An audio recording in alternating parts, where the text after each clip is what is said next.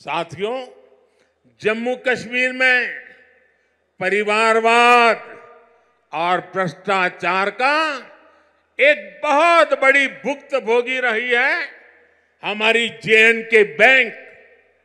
इस बैंक को तबाह करने में यहाँ की पहले की सरकारों ने कोई कोर कसर बाकी नहीं छोड़ी थी। बैंक में अपने नाते रिश्तेदारों और भाई भतीजों को भरकर इन परिवारवादियों ने बैंक की कमर तोड़ दी थी। मिसमैनेजमेंट की वजह से बैंक इतना घाटे में गया था कि आप सभी के हज़ारों करोड़ रुपए डूब जाने का खतरा था।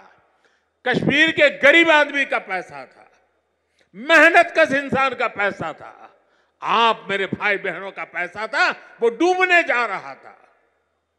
जेएन के बैंक को बचाने के लिए हमारी सरकार ने एक के बाद एक रिफॉर्म किए। बैंक को एक हज़ार करोड़ रुपए की मदद देना भी तय किया। जेएन के बैंक में जो गलत तरीके से भर्तियाँ हुई थी उनके खिलाफ भी हमने सख्त कार्रवाई की। आज भी एंटी करप्शन ब्यूरो ऐसी हज़ारों भर्तियों की जाँच कर रही है। बीते पाँच साल में जम्मू कश्मीर के हज़ारों नौजवानों को पूरी पारदर्शिता के साथ बैंक में नौकरी मिली है। सरकार के निरंतर प्रयासों से आज जेएन के बैंक फिर से मज़बूत हो गई है। इस बैंक का मुनाफा जो डूबने वाली बैंक थी, ये मोदी की गारंटी देखिए, डूबने वाली बैंक थी। आज उसका मुनाफा 1700 करोड़ रुपए तक पहुँच रहा है। ये आपका पैसा है, आपके हक का पैसा है। मोदी तो चौकीदार बन के बैठा है। पाँच साल पहले बैंक का बिज़नेस सवा लाख करोड़ रुपए में सिमट गया था। सिर्फ़ सवा लाख करोड़। अब बैंक का बिज़नेस सवा दो लाख करोड़ रुपए क्रॉस कर चुका है।